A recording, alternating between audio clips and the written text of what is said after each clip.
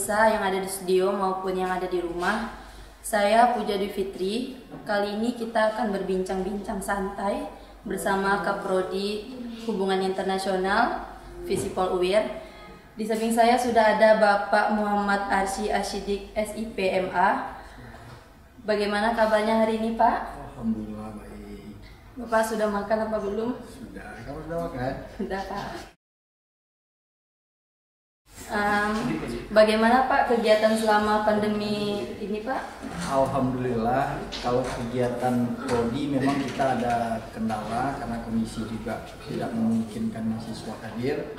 Kita kuliah secara daring, namun untuk administratif, alhamdulillah semuanya lancar. Ya semakin menyesuaikan aja ya Pak. Ya, Eh, di sini saya akan ada beberapa pertanyaan nih Pak. Eh, Bapak sekiranya bisa berbagi pada kita semua. eh, bagaimana nih Pak sejarah berdirinya program studi hubungan internasional di UIR? ah, oke, ba- baiklah. Sebelumnya saya ingin mengucapkan terima kasih terlebih dahulu pada pihak pelaksana dalam hal ini Fakultas Ilmu Sosial dan Ilmu Politik. Salam takzim juga kepada Bapak Dekan kita, Dr. Sahrul Akmalatif. Terima kasih sudah menyediakan wadah untuk kita berdiskusi di sini, dipandu pula oleh host yang yang cantik, ya. Terima kasih Pak.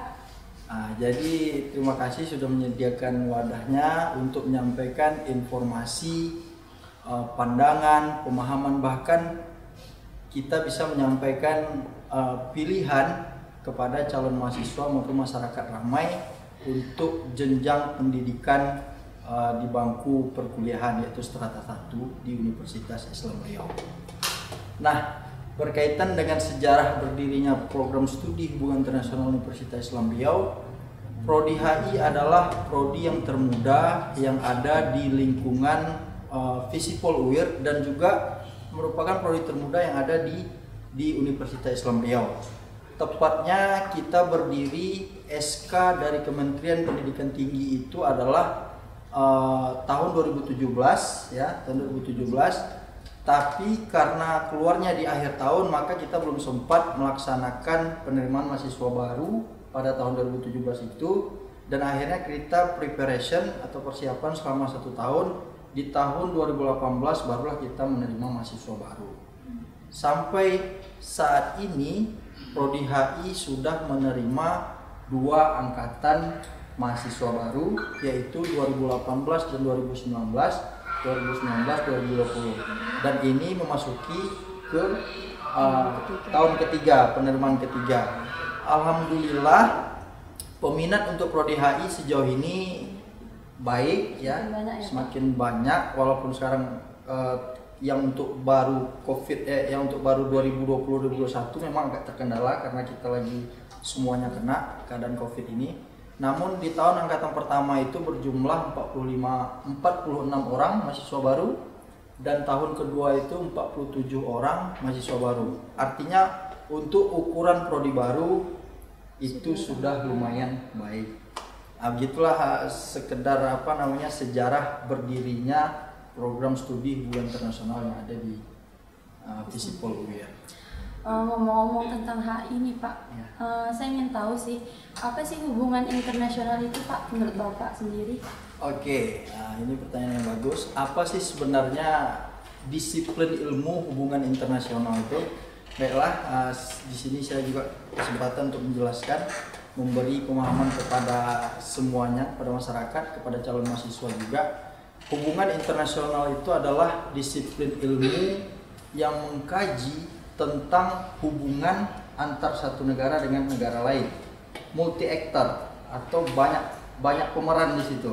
Boleh itu negara dengan negara, individu dengan negara atau individu dengan individu. Ya. Tapi yang penting di situ adalah how they to negotiate ya bagaimana mereka bernegosiasi, how they to to to communicate, bagaimana mereka berkomunikasi untuk membuat suatu kebijakan, to make a deal, to make a decision untuk kemaslahatan uh, global ataupun kemaslahatan di negaranya masing-masing. Nah, itu dasar apa sih sebenarnya hubungan internasional itu yaitu mempelajari bagaimana hubungan suatu negara dengan negara yang lain. Itu kuncinya. Pemahaman awalnya hubungan internasional itu adalah seperti itu. Hmm, Kalau ciri-ciri khasnya Pak dari prodi HI ini Pak dari prodi-prodi yang ada di lain. HIW. Oke. Jadi kita itu di program studi hubungan internasional ini bukan hanya di UIR, tapi di seluruh Indonesia semua perguruan tinggi yang memiliki uh, pro- program studi hubungan internasional itu memiliki ciri khas masing-masing. Ciri khas masing-masing itu artinya adalah ciri khas kajian yang ada di program studi itu sendiri. Contoh, ini saya kasih contoh di UI itu fokus HI-nya adalah keamanan internasional, ya. Ah, Nah, kita ah, di program studi HI di Universitas Islam Riau kita memiliki ciri khas adalah kajiannya tentang ah, isu-isu global kontemporer, ya. Isu global kontemporer itu adalah breaking news, berita-berita terbaru tentang keadaan global dunia dan juga kajian tentang wilayah perbatasan. Nah, karena kita uh, khususnya di Riau, Provinsi Riau, di Provinsi Riau baru ada program studi HI itu baru tiga, tiga universitas. Ada UNRI, ada Unifrap, dan ada kita di UIR. Dan kita yang paling baru, kita paling baru di UIR. Nah, mengapa kita mengambil ciri khasnya itu ada kajian perbatasan, wilayah perbatasan? Karena kita uh, secara uh, wilayah Provinsi Riau itu berbatasan langsung dengan beberapa negara tetangga seperti Singapura dan Malaysia. Nah, di situ kita coba ambil eh, keunikan ataupun ciri khas dari prodi lain yang ada di perguruan tinggi yang lain itu bagaimana kita mengkaji eh, wilayah-wilayah perbatasan yang ada di Asia Tenggara. Seperti itu. Itu, itu ciri khas dari prodi HIUIR. Ya. Ya. Pak, sangat ciri khas sekali. Eh, kalau eh, profil lulusan prodi HI ini apa saja Pak? profil lulusan prodi HI. Ah, saya saya mau start starting pointnya tentang ah, profil lulusan ini. Artinya seperti ini. Tidak ada satu disiplin ilmu pun atau tidak ada satu jurusan pun yang bisa memastikan atau menggaransi mahasiswanya lulusannya untuk bekerja sesuai dengan ah, disiplin ilmu yang mereka tempuh di jenjang perkuliahan. Ya, Artinya basicnya sama seperti prodi lain, eh, tidak bisa tidak menggaransi seorang penstudi HI itu akan menjadi seorang diplomat tidak.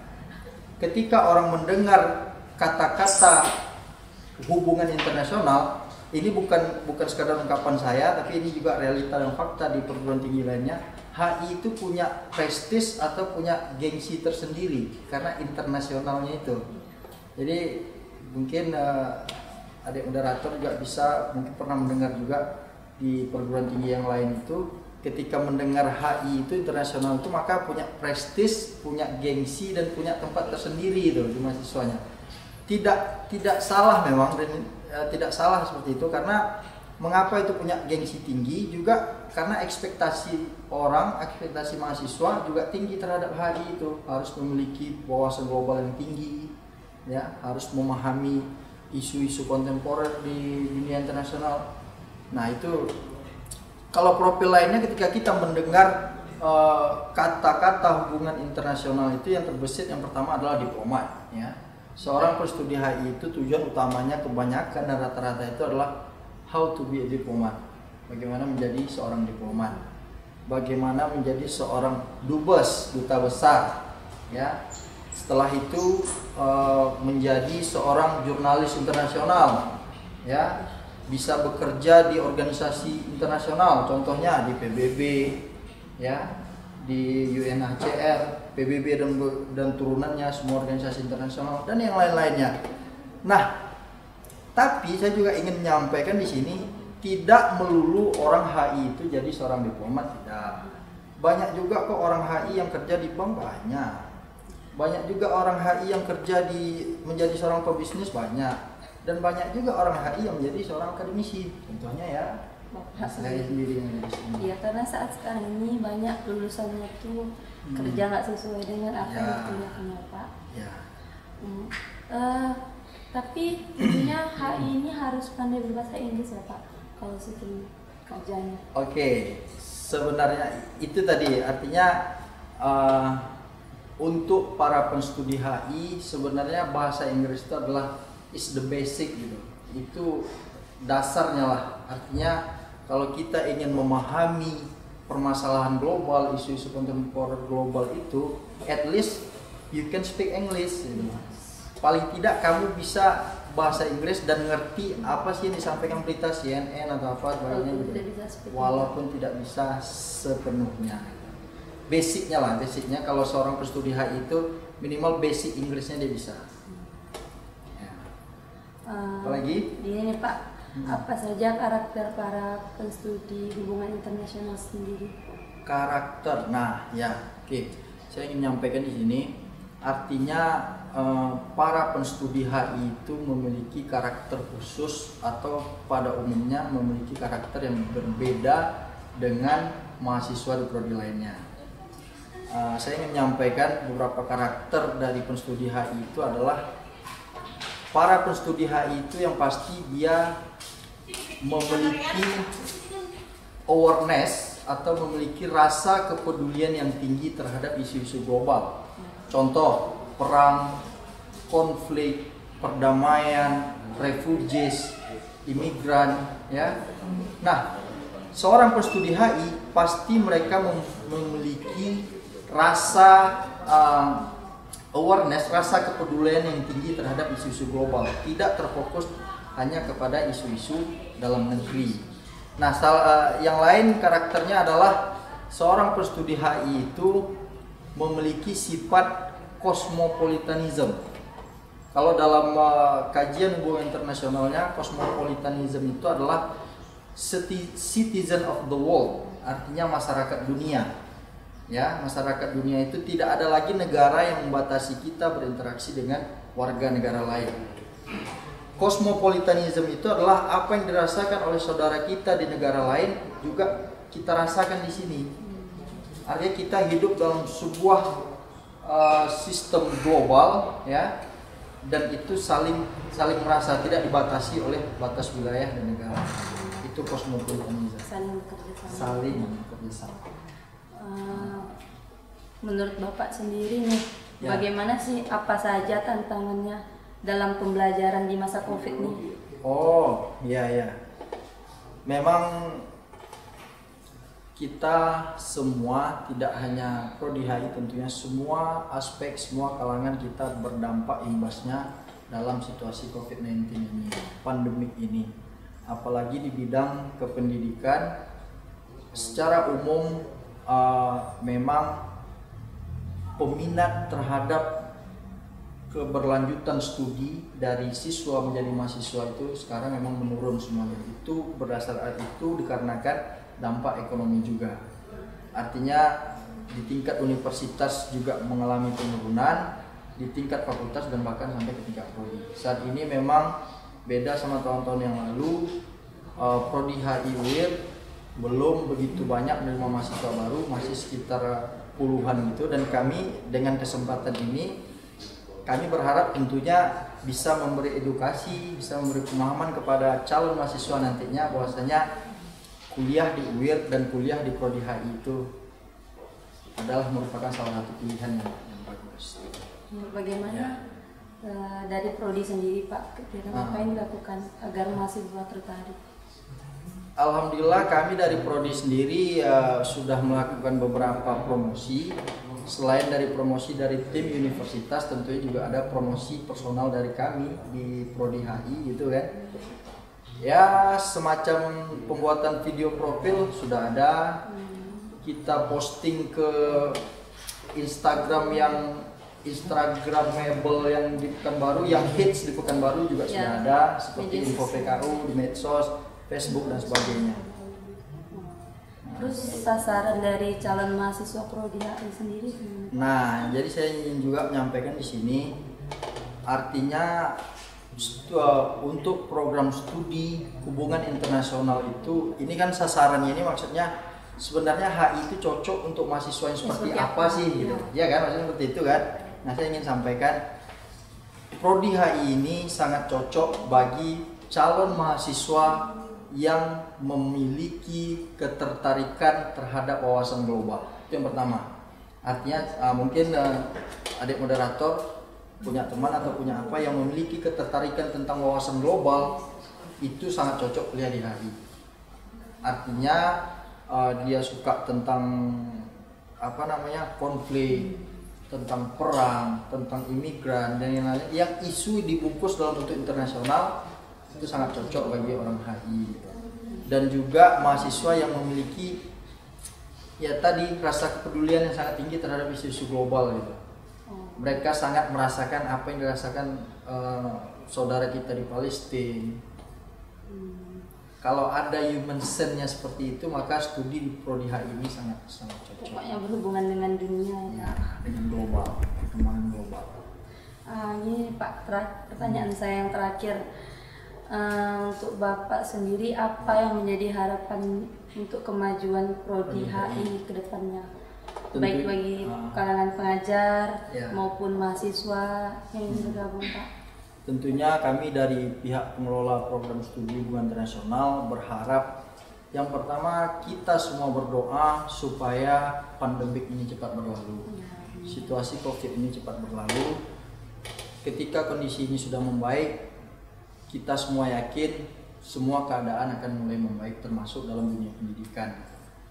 Dan juga kami berharap eh, kami akan selalu mencoba meningkatkan kualitas program studi baik itu dari tenaga pendidiknya, sarana prasarana untuk menarik uh, calon-calon mahasiswa yang ingin melanjutkan uh, studinya di prodi hubungan internasional Universitas Islam Selalu tetap menjalin protokol kesehatan. Ya, tentunya seperti itu.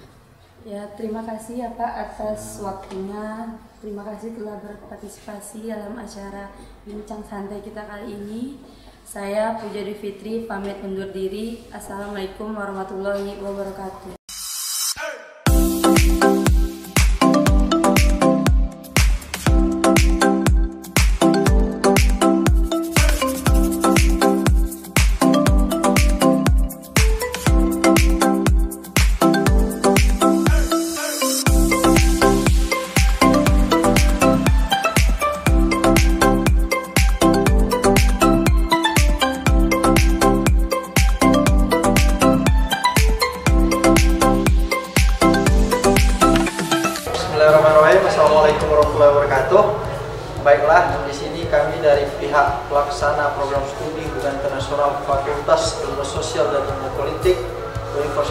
Riau menghimbau dan mengajak kepada seluruh putra-putri terbaik uh, Provinsi Riau dan Indonesia untuk jangan ragu-ragu bergabung bersama kami di Universitas Islam Riau, tepatnya di program studi hubungan internasional uh, Fakultas Ilmu Sosial Ilmu Politik Universitas Islam Riau. Di sini kami memiliki sumber daya manusia ataupun uh, tenaga pendidiknya yang masih fresh graduate, yang masih muda-muda tentunya dengan ilmu dan pengetahuan yang masih fresh. Dan juga di sini kami menawarkan beberapa mata kuliah yang menjurus tentang uh, pengkajian atau pemahaman tentang uh, wilayah perbatasan ya jadi kami menghimbau kepada calon mahasiswa mari bergabung bersama kami dengan program studi hubungan internasional Universitas Islam Riau. Kami juga mempunyai tagline atau apa namanya? Uh, mempunyai moto yaitu Join Highway, Highway Bringing World to You. Nah, jadi oleh karena itu mari bergabung bersama kami di program studi hubungan internasional Universitas Islam Riau. Wabillahi Assalamualaikum warahmatullahi wabarakatuh.